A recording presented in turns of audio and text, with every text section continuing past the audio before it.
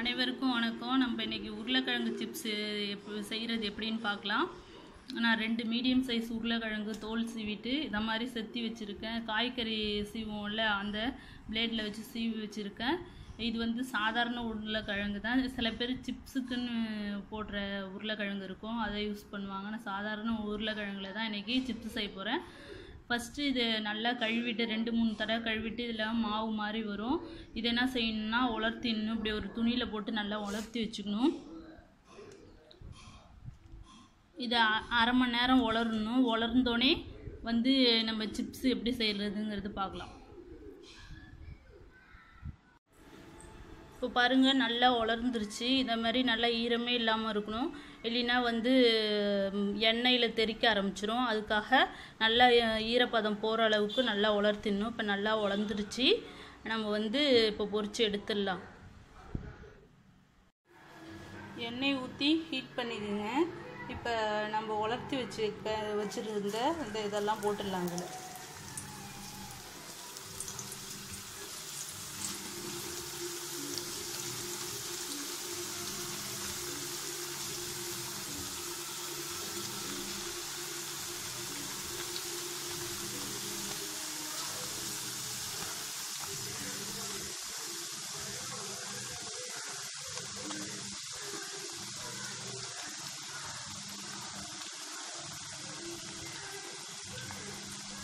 இப்போ நம்ம இதில் வந்து கொஞ்சமாக வந்து உப்பு தண்ணி ஊற்ற போகிறோம்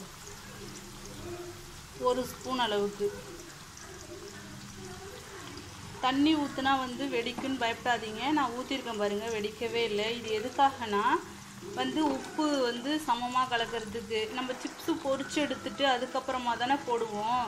இப்போ போட்டால் அங்கங்கே சில இடத்துல கரிக்கிற மாதிரி இருக்கும் சில இடத்துல இல்லாத மாதிரி இருக்கும். இப்போ போட்டோன்னா எண்ணெயில் கலந்து எல்லா இடத்துலையும் ஈவனாக பரவும். அது பரவி சூப்பராக இருக்கும். அதுக்காக தான்.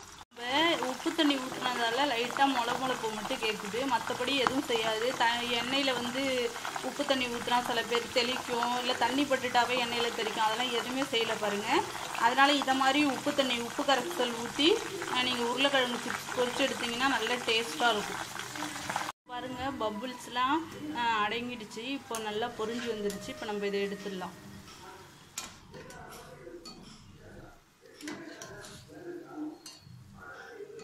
பாருங்கள் பாருங்க எடுத்தாச்சு. இப்போ வந்து காரத்துக்கு வந்து நான் மிளகுத்தூள் சேர்த்துக்கிறேன். சில பேர் காரப்பொடி சேர்த்துப்பாங்க. காரப்பொடியோட மிளகுத்தூள் ரொம்ப நல்லது. அதனால எல்லாத்துலேயுமே நான் மிளகுத்தூள் தான் சேர்த்துப்பேன். அதனாலே இதுலேயும் இதை சேர்த்துக்கிறேன். இது பாருங்கள் எவ்வளோ கிறிஸ்பியாக இருக்குன்னு பாருங்கள் கடையில் வந்து என்னென்ன உப்போ சேர்ப்பாங்க. அதுக்கு பதிலாக வந்து நம்ம வீட்டிலே செஞ்சு சாப்பிட்டோன்னு வச்சுக்கோங்க உடம்புக்கு நல்லது. கடையில் விற்கிற உப்பால் தான் நம்மளுக்கு நிறைய வியாதிலாம் வருது. இதை மாதிரி நம்ம வீட்டிலே செஞ்சு சாப்பிடும் போது நமக்கு வந்து என்ன ஆகுதுன்னா உடம்புக்கு ஹெல்த்தாக இருக்கும். அதனால் முடிஞ்ச வரைக்கும் இதேமாரி இதேமாரி கிழங்கு சிப்ஸும் நம்ம வீட்டிலே செஞ்சு சாப்பிட்லாம். இது எப்படி செஞ்சு பார்த்துட்டு எப்படி இருக்குன்னு கமெண்ட் பண்ணுங்கள் மறக்காமல் என்னோடய சேனலை சப்ஸ்கிரைப் பண்ணுங்கள் இந்த வீடியோ பார்த்த அனைவருக்கும் நன்றி.